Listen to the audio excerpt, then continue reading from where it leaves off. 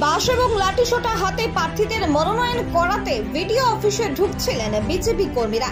সেই দৃশ্য চোখে পড়তেই আসরে নামলো পুলিশ। মুহূর্তের মধ্যেই লাঠি সোটা হাতে থাকা বিজেপি প্রার্থীদের এলাকা ছাড়া করলেন পুলিশ কর্মীরা। যদিও লাঠির পক্ষে রয়েছেন গোঘাটের বিজেপি নেত্রী দোলন দাস। তিনি বলেন, রাজ্য থেকে দুর্নীতিবাদ সরকারকে দূর করতে আজ আমরা দলীয় প্রার্থীদের নিয়ে মনোনয়ন করতে এসেছি। আর নিজেদের আত্মরক্ষা তো নিজেদেরকেই করতে হবে। তাই এই লাঠি সোটা নিয়ে আসা আর রাস্তার আবর্জনা পরিষ্কার করতে লাঠি সোটা তো লাগবেই।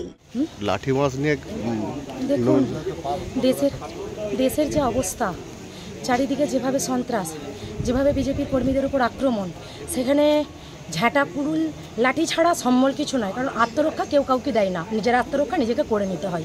সেই জন্য এই দুর্নীতিরাজ সরকারকে বদলানোর জন্য ভারতীয় জনতা পার্টির পক্ষ থেকে আমি দোলন দাস আমার সমস্ত ভারতীয় জনতা পার্টির কর্মীদের নিয়ে এসেছি। আজকে প্রায় তেষট্টি জনকে নিয়ে এখানে আমরা নমিনেট করব। সেই জন্যই আজকে আমরা ব্লক অফিসে এসেছি। লাঠি মাছ না থাকলে উম, তাড়াতে তো সময় লাগে রাস্তার আবর্জনা সাফ করার জন্য তো লাঠি ঝাঁটা লাগেই দাদা সেই জন্য লাঠি ঝাঁটা সঙ্গে ছিল। উন্নত পরিষেবা ও সুচিকিৎসা নিয়ে খুব শীঘ্রই চালু হতে চলেছে গ্লোবাল হেলথ নার্সিং হোম। অত্যাধুনিক মেশিন থেকে শুরু করে সর্বদাই থাকবেন অভিজ্ঞ চিকিৎসকরা।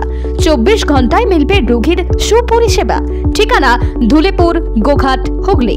যোগাযোগ number eight six seven zero six eight nine six one seven অথবা যোগাযোগ করুন nine five four seven four two nine one six one এই নম্বরে।